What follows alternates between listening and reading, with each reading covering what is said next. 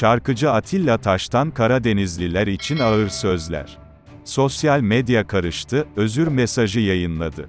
Şarkıcı Atilla Taş'ın Karadenizliler için söylediği sözlerin ardından yer yerinden oynadı. Sosyal medyada binlerce tepki alan şarkıcı, tüm Karadenizlilerden özür diledi.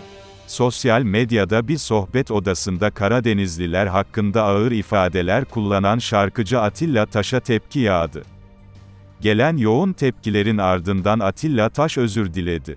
Atilla Taş'ın kayıtta yer alan ifadeleri şu şekilde, hayır, bir Karadenizlinin bilmediği, yok.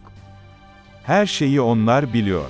En iyisini biliyorlar, en doğrusunu biliyorlar. Uşağım sen hiçbir, bilmiyorsun ben hepsini biliyorum da. Para onlarda da, espri onlarda da, her onlarda da. Sevmiyorum da. Bu Karadenizlilerden bıktık. Gelen tepkilerin ardından Twitter hesabından özür dileyen Atilla Taş, şu ifadeleri kullandı, arkadaşlar arkasını önünü dinlemeden art niyetle cımbızlanmış sohbet kaydında orada Karadenizli yakın arkadaşıma yaptığım şaka yollu söylem haddini aşmıştır. Amasız fakatsız tüm Karadenizlilerden özür diliyorum. Kaldı ki kızımı Trabzon'a gelin vermiş biriyim.